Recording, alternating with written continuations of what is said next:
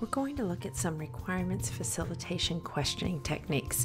It's not always easy to get the information that you need from stakeholders. Sometimes they're reluctant to speak, sometimes they're multitasking, they're not paying attention, and there are some techniques that you can use to get those stakeholders talking.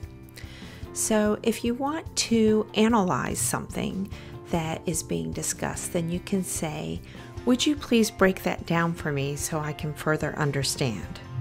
If you want to check something to make sure that there's no misunderstanding, then you can use a question like, Will you share with me your understanding of what we just discussed?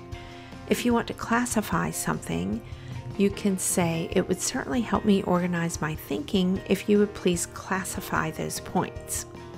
If you want to do a comparison, then you can say, Can we compare that statement to the one we reviewed earlier, please? This is especially helpful if you are in a situation where you think you may have just received a conflicting requirement. So, if you got one requirement earlier, somebody gives you another one, and you think that this one, requirement number seven, conflicts with requirement number two.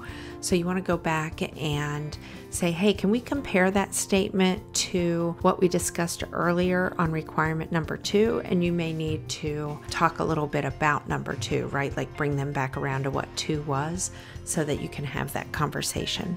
If you want to define something, you can say, To help me understand, can you define that term for us? Describing, which means to select and define features which characterize a condition, situation, or process, you can say, Can you describe a typical situation to which this might apply? If you want to discuss something, you can say, Let's explore the implications and ramifications of this. If you want to explain or want them to explain, you can say, Can you tell us how you arrived at that conclusion? If you want to illustrate an example, right, you want somebody to illustrate something, you can say, Can anyone give me an example or two of how this would work? And then, if you want to prompt them, remember earlier we said don't ask closed ended questions. So instead of saying, Is there anything else? you could say, What else? If you want to probe for more information on a specific topic, you can say something like, How do you mean? If you're trying to redirect, you can say, Good point. Can we put that on the issues list? In other words, let's get back to the conversation at hand. We'll take that down. You've been heard. You want to make sure the person always feels like they've been heard, but you want to redirect the conversation back to where it should be. So you can use that as a statement to make to do that. Restating is the same really as paraphrasing, right? So you could say, in other words, or what I heard you say is, tell me if I've got this right. Any of those kind of things will work for that. Review means that you're doing a recap, right?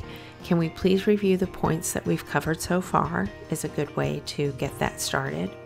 And verifying. How can we verify that this is indeed the case? So if somebody says, I think this is how this is done, or I believe this is how this is done.